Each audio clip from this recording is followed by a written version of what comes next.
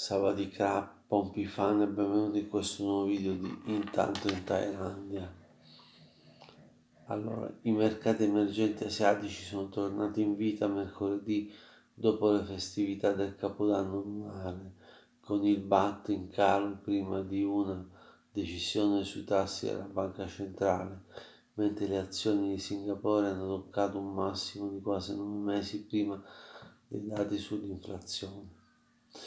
Il BAT è sceso prima di una decisione sui tassi ufficiali della banca centrale, mentre le azioni di Singapore hanno toccato un massimo di quasi nove mesi prima dei dati dell'inflazione. Il BAT è sceso dello 0.3%, nonostante l'aspettativa che la Bank of Thailand, il cui acronimo BOT, aumenterà i tassi di altri, di altri 25 punti base nel corso della giornata per frenare l'aumento dell'inflazione. Quest'anno il, BAS, il BAT si è apprezzato del 5.3% rispetto al dollaro degli Stati Uniti, diventando la valuta con le migliori prestazioni in Asia, trainate da un dollaro più debole e dalla riapertura anticipata della Cina.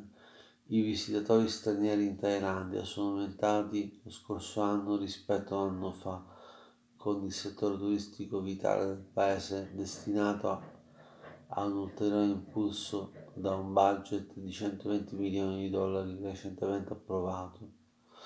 Io chiedo scusa per i rumori che si sentono di sottofondo, c'è una signora con l'Alzheimer che da ieri sera, da quando l'hanno coricata, che siccome le mettono la sbarra, muove la sbarra, quindi volevo assicurare a tutti che il rumore che si sente di sottofondo non è che c'è qualcuno che sta trombando, ma è la signora che cerca di evadere dal letto con la sbarra. D'altro canto non si può fare altrimenti perché siccome riesce a muoversi è all'Alzheimer, quindi è pazza. Cioè, eh, purtroppo chi, chi, ha questa malattia eh, prende la memoria del pesce rosso, cioè eh, tende a, a uno dei sintomi il wandering, cioè che si alzano e iniziano a girare come pazzi alla ricerca di chissà che cosa.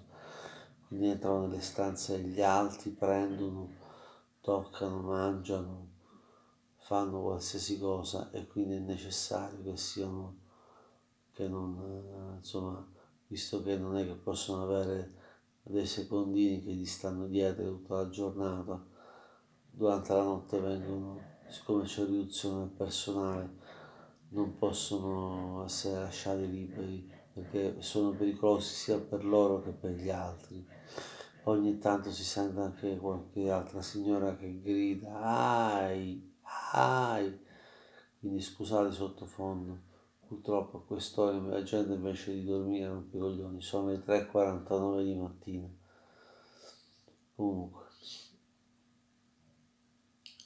quindi 120 milioni di dollari recentemente approvato. L'indice del dollaro ha continuato ad indebolirsi rispetto alla sessione precedente, dopo che i dati hanno mostrato che l'attività commerciale degli Stati Uniti è ridotta per il settore mese per il settimo mese consecutivo. I mercati si aspettano un aumento dei tassi di 25 punti base dalla Federal, Reserve a febbraio.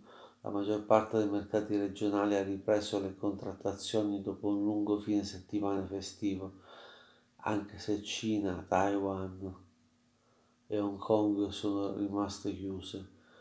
Il ringgit della Malesia è salito, scusate,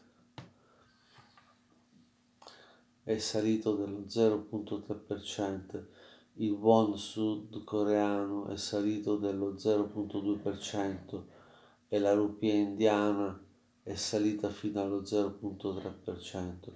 Il brusco smantellamento da parte della Cina delle sue rigide misure contro il Covid-19 ha, ha favorito una ripresa della propensione a rischio in Asia nelle ultime settimane, con Thailandia, Singapore e Malesia che ne sono i principali beneficiari.